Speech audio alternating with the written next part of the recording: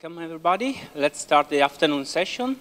And uh, it's my pleasure to introduce you uh, Professor Richard Stehle from Humboldt University in Berlin. And uh, he will be presenting us an analysis about the CAPM in Germany. Thank you. Let me start.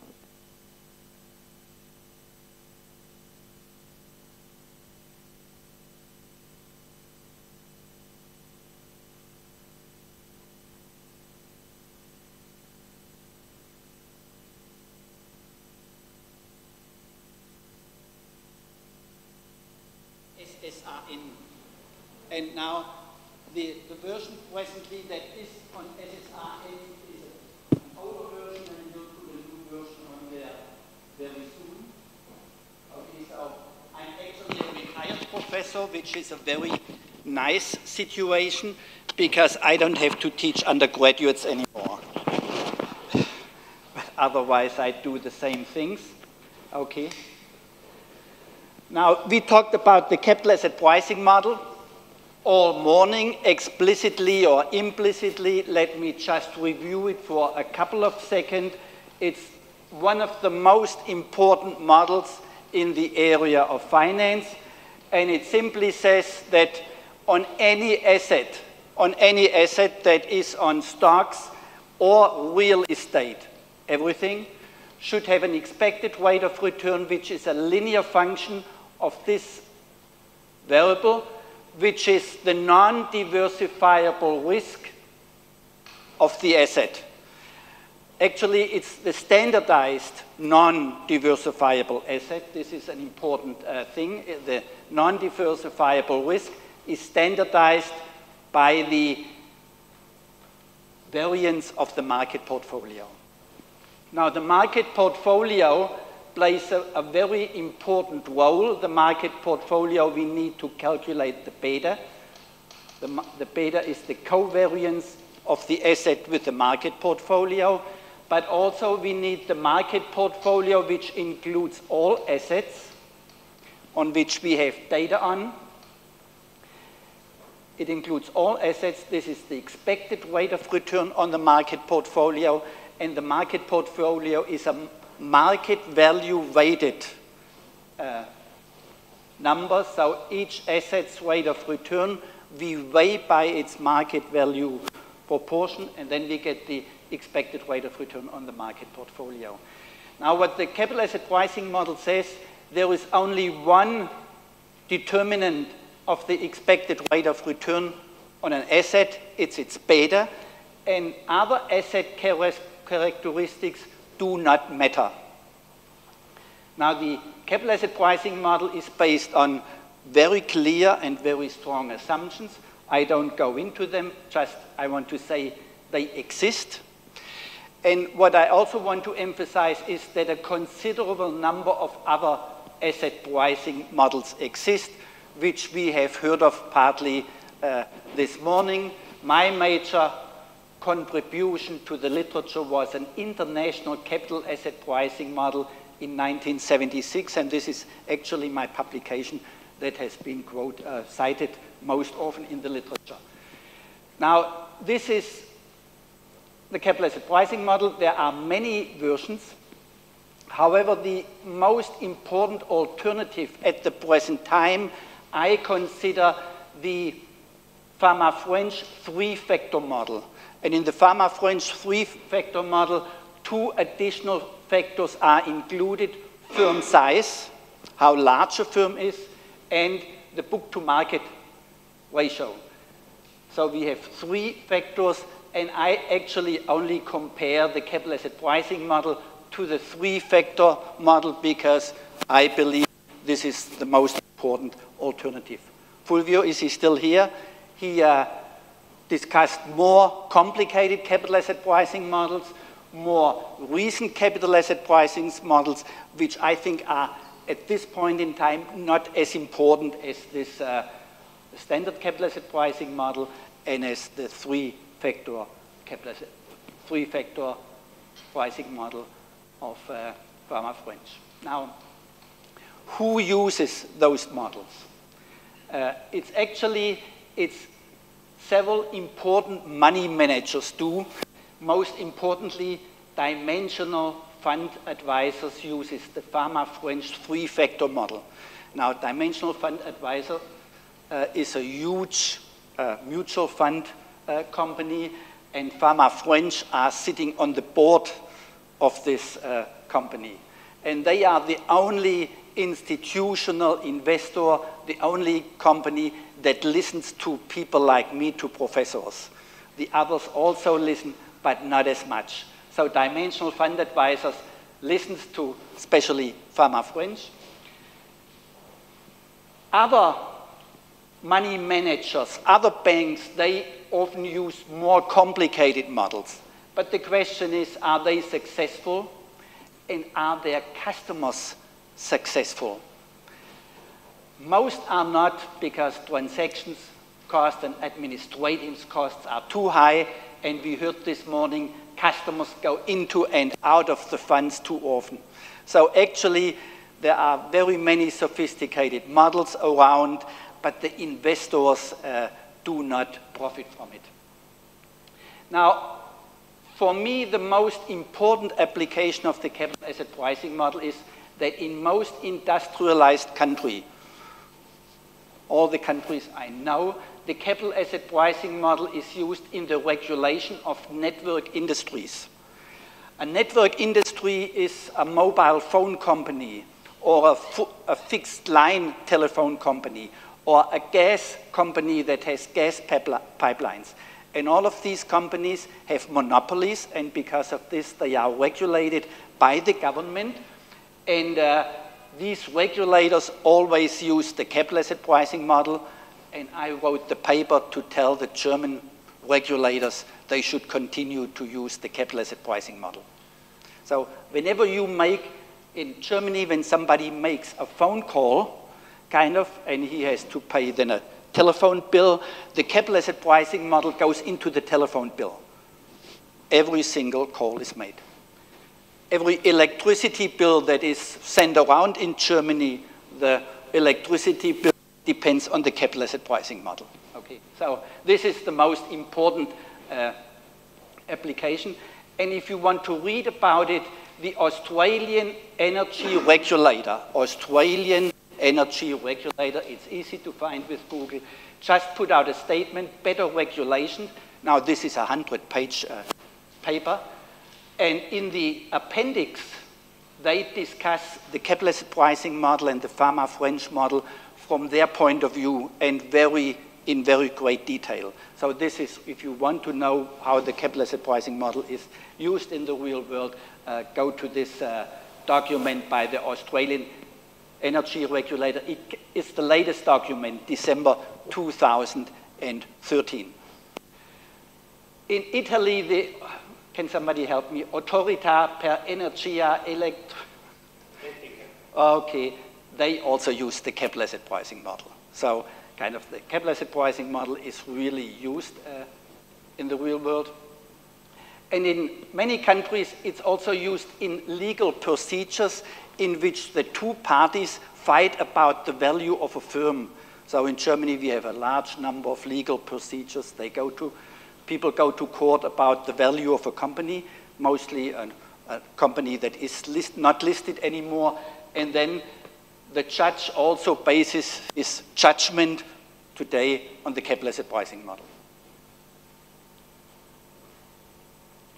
Now, we test the standard, the capital asset pricing model versus this alternative, the Fama French three-factor model, and we just use really traditional test procedures. Now, in the Fulvio, he described some new test procedures, but these are not the ones that are fully accepted by the uh, field of finance. These are the standard test procedures which are still the most likely used.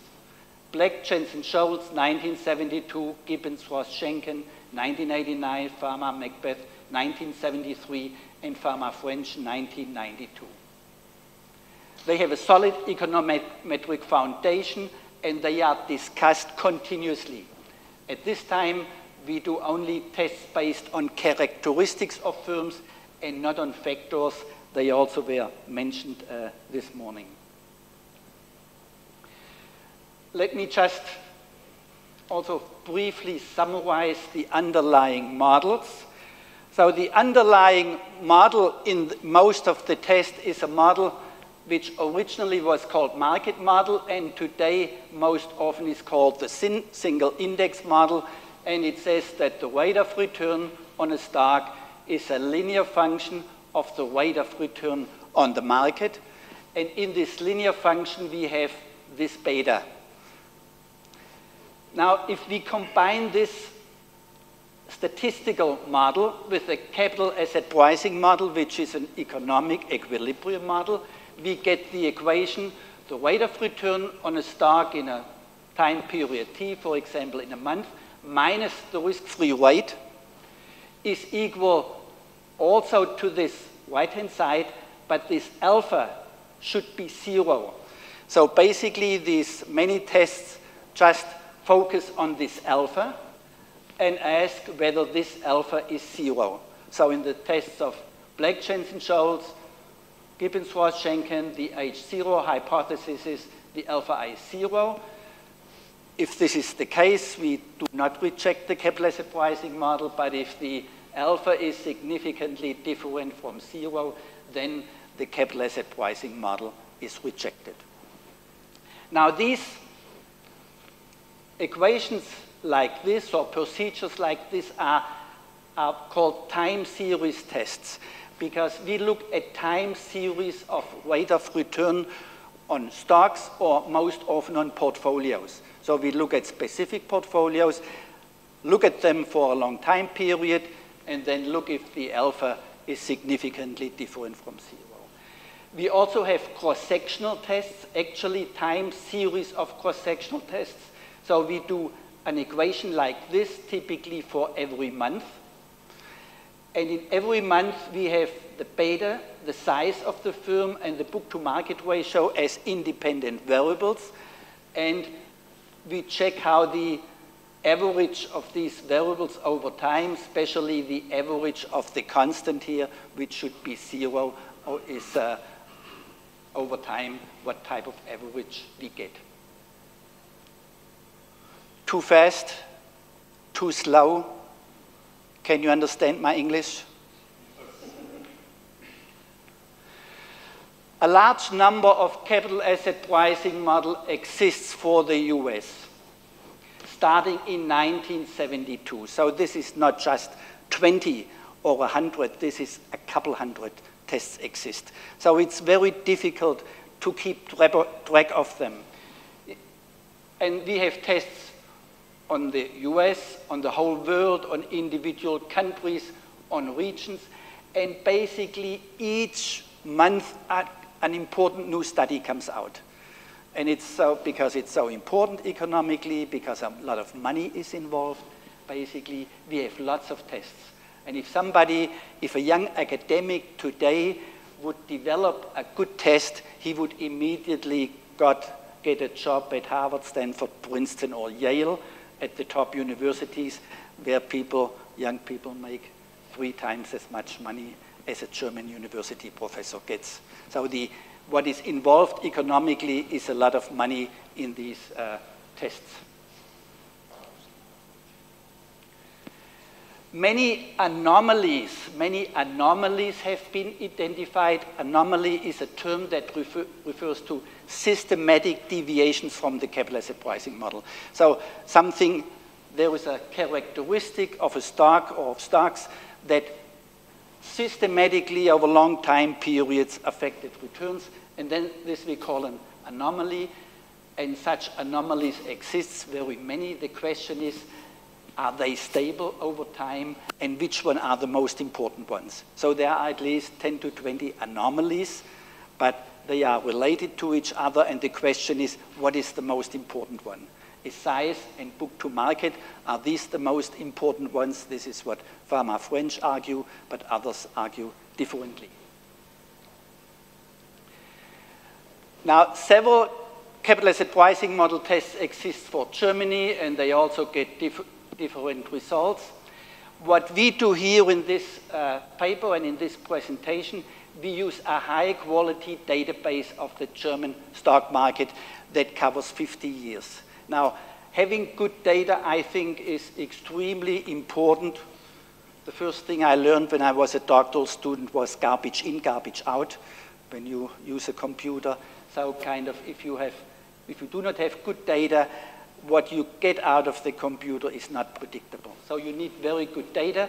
And over the years, kind of, I have developed, it took me 30 years to build up a nice, good database of the German market. 30 years and 20, 30 persons were involved. We do many different tests depending how, how we, you count. We use the standard procedure in this paper. We vary a number of tests, test details uh, in these tests. So the tests can have basic econometric uh, properties, but then you can vary many details of these tests, and the results are very sensitive in how you vary the test details. We especially emphasize that small and large firms should not be weighted equally in these statistical tests. So in Germany, like in all capital markets, we have very small companies. A small company in Germany presently has market value of the equity of 20, 30 millions. And a large company has a market value of 30, 40 billions. So the large companies are a thousand times larger than the small ones. And in the standard statistical procedures, they are all counted as observations and all have an in, have an identical weight. So they all go into the results in the same way, which I think is highly problematic. If a large company deviates from the capital asset pricing model, it should be weighted more heavily than if a very minor company deviates. Let me discuss data quality, what I mean in more detail, because data quality uh, is my hobby to some extent. Now, in the first presentation, this morning. The data about the US was used, and the real return on the US stock market is 6.3% now up to the most recent data for data from 1900 to 2012. Actually, this is taken from Dimson and Marsh, Marsh Staunton, from the Credit Suisse Global Investment Returns yearbooks. You can Google for it very easily, and it gives you the long-term, more than 100-year returns for a number of countries. Now, this is what I could do this morning during the presentations because I thought this is uh, interesting for this audience. Now, stocks are in the first column. Stocks, we have countries in which the real rate of return during the last 100 years was more than 6% per year. Australia is especially lucky because they are so far away uh, from our continent and they have a lot of raw materials uh, in their country. So these countries have a very high uh, long-term rate of return. Then there are countries, Germany, France, and Belgium, which have a real rate of return during the last 100 years uh, around 2.5 to 3.1 percent. We had two big catastrophic wars in, in Europe which destroyed many things. And so it's quite normal that in, in Europe the long-term rate of return on stocks should be lower. However, then in this data collection, there is also data for Italy, and for Austria, and here the long-term rate of return is extremely low. Now, I think the reason is that this data is incorrect and this data is not correct. So people just were not careful enough in collecting the data for this country. It's extremely compli complicated to collect stock market data because you do not need only stock prices, you need dividends, you need rights issue, you need stock splits, all kind of things. So it's extremely complicated. And for Italy and Austria, I think uh, the data at the present time is not good enough, so I would like to uh, find an Italian colleague who checks over the long-term data for Italy, and then I think Italy move, would move up to this group, because Italy was essentially the same as Belgium and essentially the same as France, so the, the difference should not be as large. However, now, Belgium last, until last year was down in this group, and then a Belgian academic did a, a very uh, detailed study on the Belgian market. And initially, Belgium was here 0.5% per year, but then after this study, it moved up to 2.5%. Uh,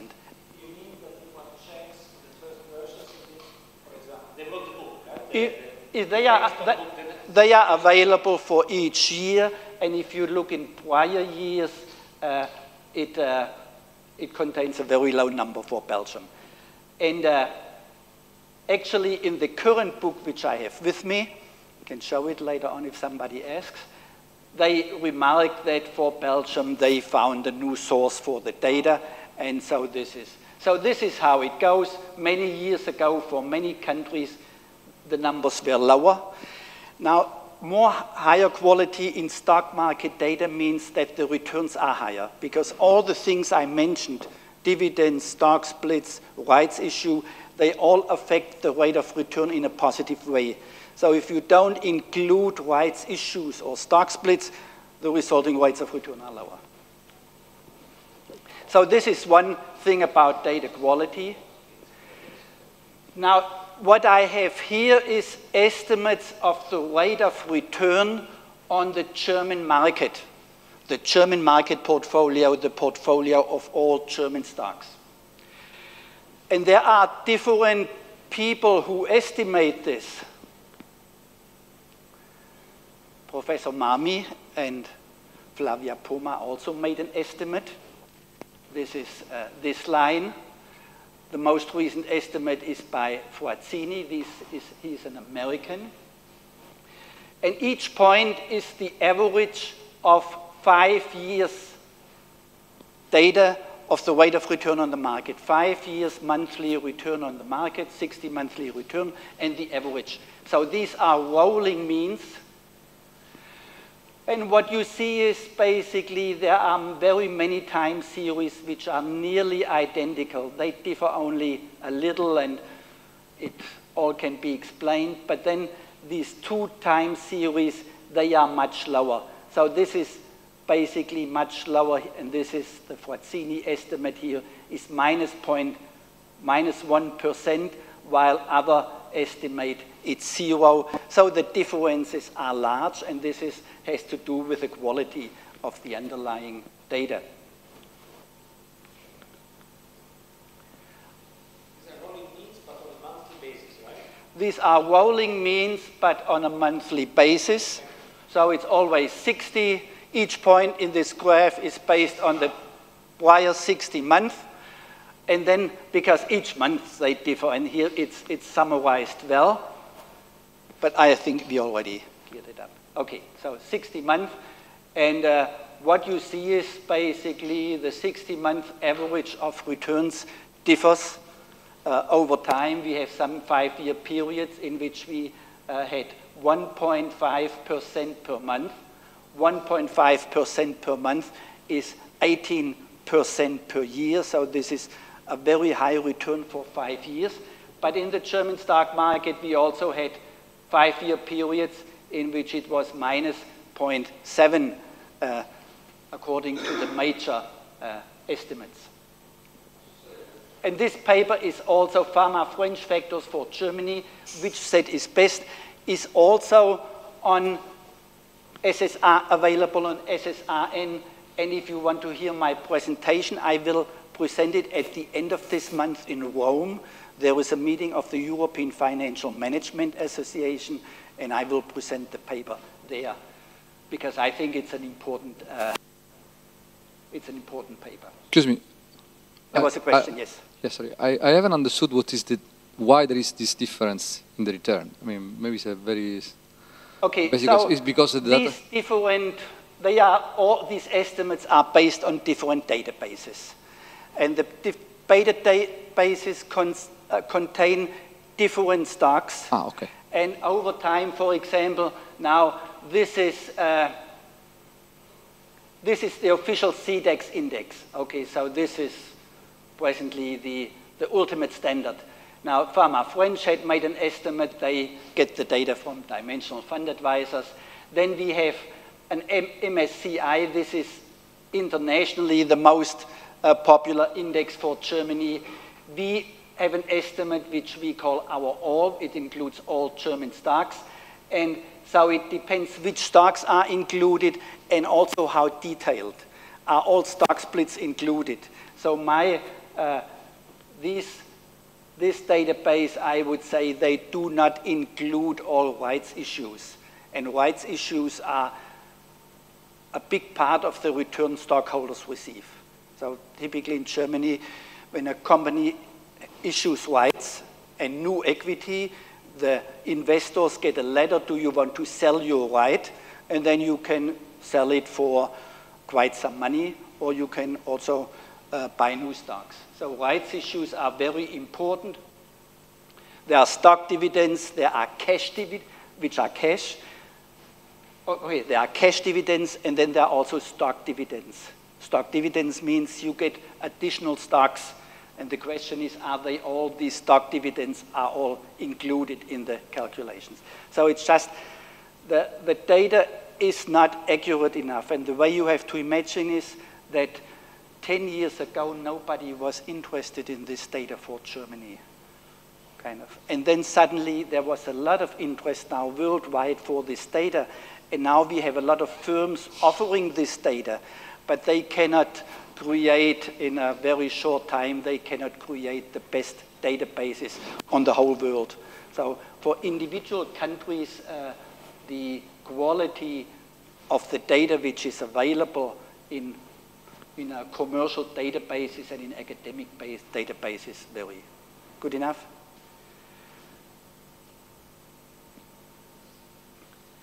Okay, now we look at test procedures and we we, I already mentioned, we look at variations in the test procedures, and very many details are Germany specific, and we have a strong opinion how it should be done, so we do it in the way we think it should be done, which I want to discuss here. This is not of great interest to you, but uh,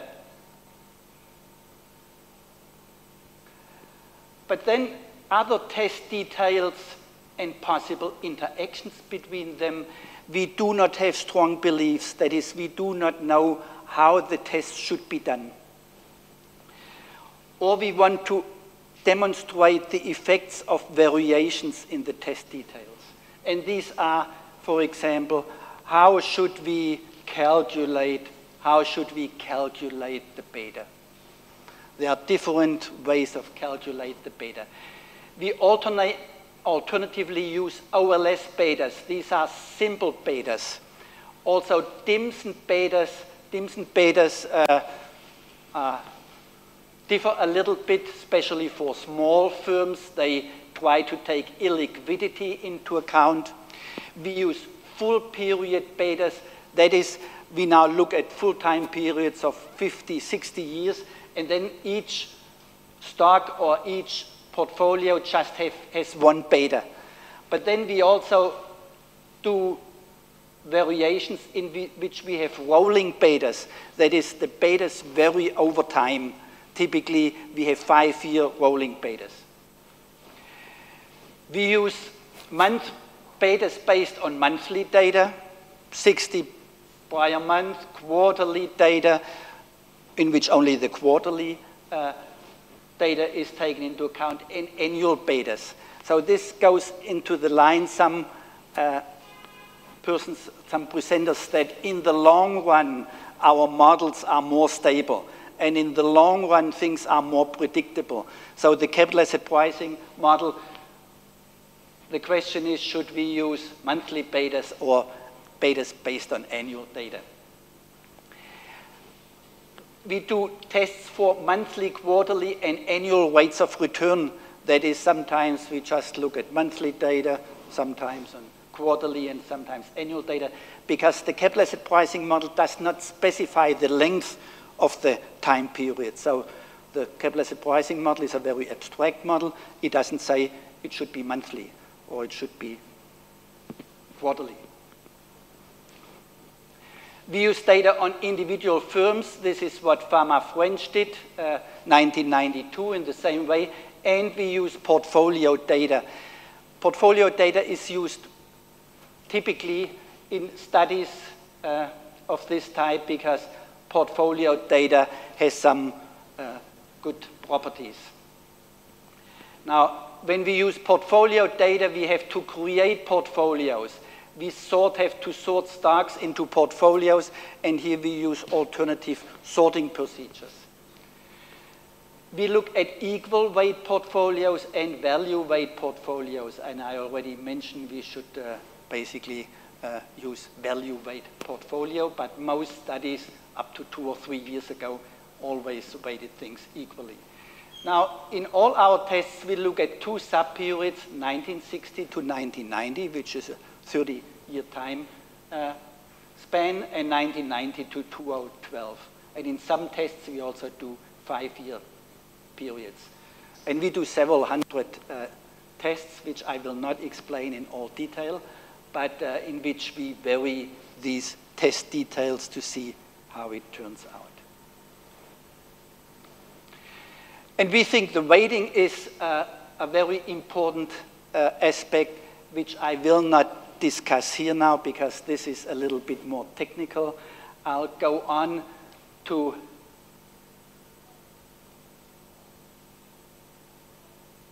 to our main results. I don't know when uh, the organizers will cut me off. This happens very often to me. I'm just cut off at the end. And uh, and so I typically present my results a little bit early so that at least you get to see the results. We have the additional factor size, size of a firm, and book to market, and they both play an important role in the German capital market. However, both effects and their interaction are not stable over time and across portfolio. So we have here effects that vary over time, especially from 1960 to 1990. In Germany, we observe a regular size effect. That means small firms had higher returns than large firms. This is a regular size effect. And actually, I think in 1996, I was a very proud middle-aged person that uh, published a paper in Germany, we have a size effect. However, from 1990 to 2012 in Germany, we have a strong reverse size effect, that in this time period, the large firms had higher returns than the small firms. And I fully expect that in the long run, this will also be the case in other markets. It's just that large firms today have a lot of advantages. A large firm in Germany, they have international customers they sell into each region of this world. Mercedes-Benz, they produce these high-quality cars which nobody actually needs, but which are an important status symbol. And so if presently, if the Chinese have too much money, the Mercedes-Benzes are sent to China, and in a couple of years, may, maybe possibly the Brazilians uh, have a good uh, economy, and then the Brazilians will demand Mercedeses. And so Mercedes is basically because of this internationality, and they can send the cars into each region of the world. I think this is a big advantage in, in the modern world. And we have a, first a, a moderate regular size effect, and then in, from 1990 to 2012, a strong reverse size effect. Possibly it also had to do with the European uh, community, which was established with Germany becoming a united country, so there could be a lot of reasons. Similarly, the book-to-market effect is also varies over time. It is more important than the size effect. It varies less, but still it varies over time. And then our main result is also details, test details like grouping, weighting, beta calculation, and the return interval, as well as the interactions, have an enormous effect on the results. So we always should do a number of tests to see uh, if the results are robust.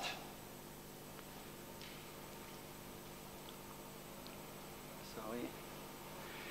Based on these tests, we recommend to regulators and judges in Germany to estimate the cost of, of equity capital in Germany uh, with the Sharpe-Lintner capital asset pricing model, with the traditional capital asset pricing model.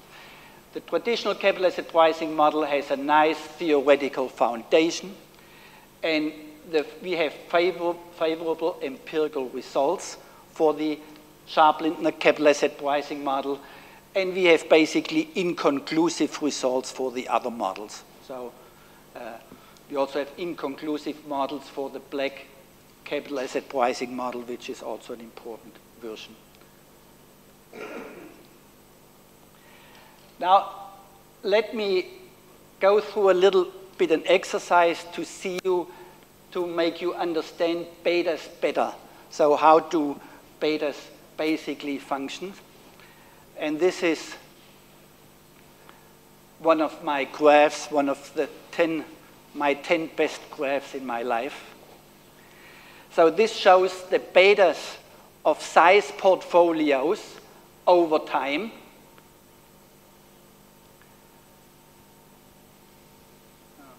Okay, this shows the betas of size portfolios over time. So first in the US, in the top in the US, later on on the bottom in Germany, we construct size portfolios. Now, in this, in the red line, these are the largest companies. And a portfolio of the largest companies is formed. And as you see, the largest companies in the US, they always a, have a beta around one. This, five minutes? Okay. So the beta is very constant, but the small companies, the beta varies a lot, and this has to do with the fact that the average beta should be equal to one. So when the large companies, the beta just goes up a little bit, then the small companies go down a lot because the market value weighted average of the beta should be one. And so, I mean, if you look at the paper, this, look at these graphs, uh, I think they are nice. Okay. This is now the first set of tests. And actually what we do here, we form 16 portfolios. 16 portfolios on the basis of size and book to market. So we first sort firms according to the size in four portfolios, and then we have sub-portfolios for the book to market ratio. And here we do it for the whole time period, and here from 60 to 90, and here from 19 to 12. What we look at is excess rates of return, that is rates of return in excess of the risk-free rate. And what you see is from 60 to 90, small companies had very high returns, excess rate of return of 0.8 per month, which translates to 10% per year. But then 19 to, to 12, the small companies did not perform very well.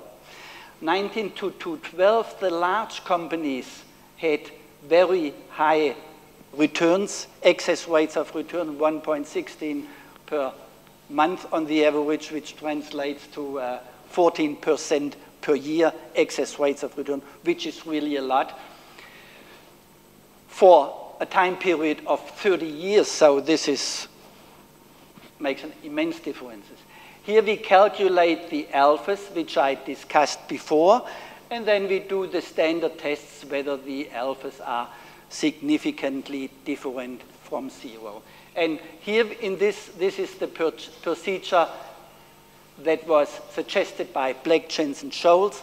It uh, looks only at these 16 portfolios, and we see then the alphas are significant in some, uh, for some portfolios. Here the these portfolios down there from 60 to 90 have a very strong positive alpha, and these have a very negative alpha, and down there it's just 92 to 12, the, it's just the other way around. So the, the alphas are significant and positive here, and significant and negative uh, down there.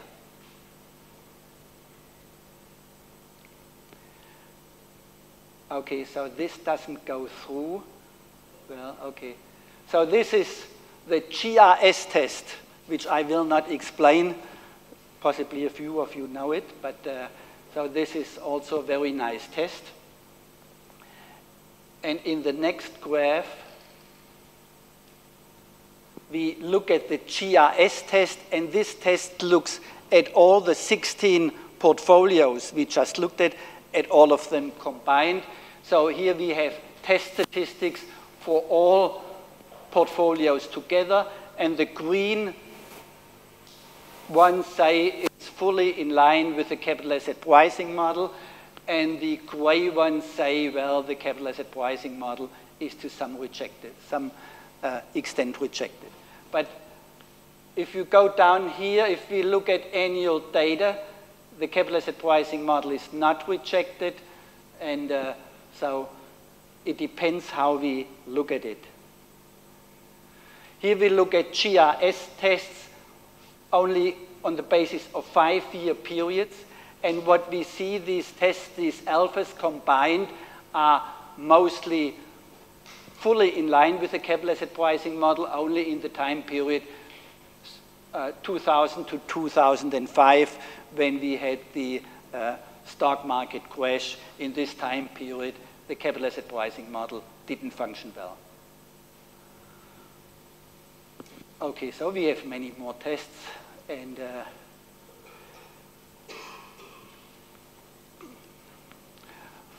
what is also a critical thing, these tests assume that the residuals are normal and this is not uh, what most of us would think. And for most five-year intervals, the GRS tests cannot reject the capital asset pricing model.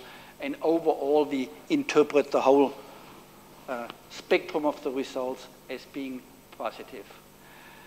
And then we look at the Fama MacBeth type of uh, studies. Let me just uh, do very many. Here we look at nine portfolios, 16 portfolios, 25 portfolios, and 36 portfolios, and it's always size and book to market portfolios, and we use monthly rolling betas. And what you see is basically the, the intercept is, uh, in most cases, not statistically significant. Okay, you want to cut me off. okay, no, there it goes on. So basically, this, the details of the papers are not suited for an audience like this. It's just a large number of tests, and the tests are typically in favor of the capital asset pricing model. And the important message is you just you should not do one single test, but you have to vary the test details and then to check how robust is, is the result. Okay, I thank you. Thank you very much.